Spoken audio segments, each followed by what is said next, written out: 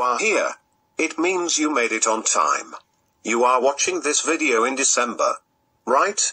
You're literally the luckiest person on this earth right now. Actually, you're awesome and the best.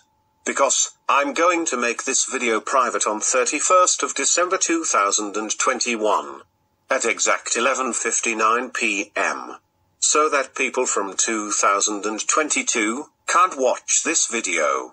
This means, you are currently watching a video that in future nobody can watch. So, like the video, and comment something to become part of the history.